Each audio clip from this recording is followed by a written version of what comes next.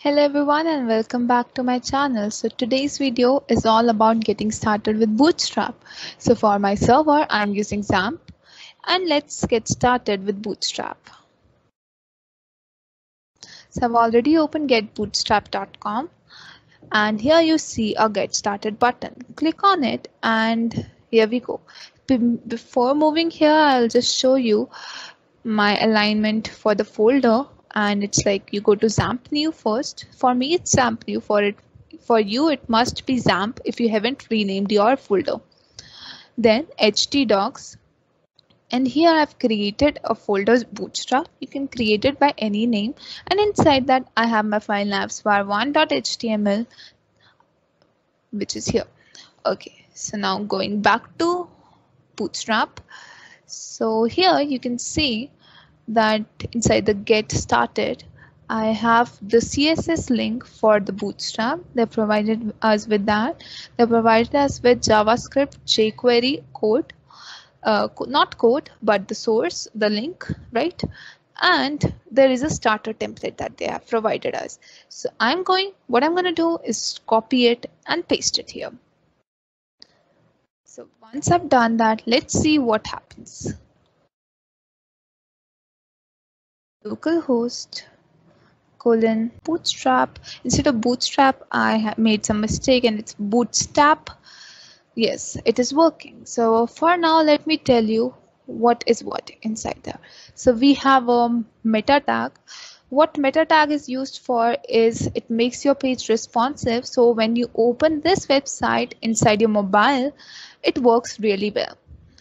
Like it's responsive and it works nicely what is this? This is your link to Bootstrap CSS, and then this is your jQuery or JavaScript links that I'm going to tell you what are their function once we reach there. Okay, so I'll just remove H1 for now and go back here. So yes, we have copied the getting started temp template and now I'll go to components. Inside the components, you see there are many components, alert, badge, breadcrumb, buttons, etc you can see how alerts look. And but for this video I'm going to talk about is navbar why? Well because navbar is something you will see in most of the websites. You can see in bootstrap itself they have a navbar here. So let's see how navbar works. There is a lot of a lot of things given here which you can read and go through. I'm just gonna go to the code area and tell you about it. So you can see here's a nav bar with search and all these links. And see when I hover it how it gets brightened up there's navbar brand and there's one disabled one also. How did they disable it? So they have done is aria disabled equal to true which makes this link disabled. But there's a class disabled too. So what is the use of this class here? So this class is already defined in your bootstrap and what it does is as you can see when I hover over this link or this drop down it brightens up. But when I hover over this disable link nothing happens. So this is what your disabled class is doing. So I'm just going to copy this code. But before I paste it there let's go down and look eh, look like the other navbars how they are. So there's one with navbar brand like navbar brand only and then there's one with image. There's one with image and the brand name. Then there's one like simple one without the search box. And there are many. So you can explore more. And as you explore you will learn more and more. So let's go back to our code area and paste it. I'm going to save it here.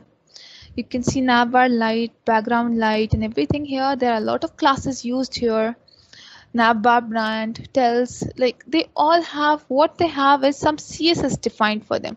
Navbar brand makes the uh, brand area like more like it should it stands out differently from the other links given. So the size would be a little bigger, the it would be a little more bold and something like that would be there. So let's go back to our website and yes I have saved it right and then I'm just gonna refresh and we have our navbar here with the search and everything. Remember how I told you about what is the use of JavaScript and jQuery? I'm going to talk about it later.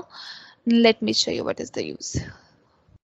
So when I shrink it, you see how it becomes like this into a button. Everything else disappears and a button button comes. Now this button and everything is happening because our website is responsive. So that is the meta tag helping us there. And when I click on this, you can see a drop down here. Now how am I getting that drop down is JavaScript and jQuery and everything which is helping us here. If I remove it and save it, go back here, refresh and click on it, nothing happens. So this is what you need your JavaScript and everything else here for. Right? In this video, as you can see, I've covered mostly about the navbar. Before I end it, let me show you something. See, I've used navbar light and background light. Let's see what happens when I change it to dark. I personally love navbar dark and background dark. So I'm gonna change it to that and save. I'm just gonna refresh it and you can see how the navbar is now a dark navbar. Everything else is the same. Okay, so over here you can see many classes of navbar are there. Navbar MR Auto. What does this do? Okay, so it aligns.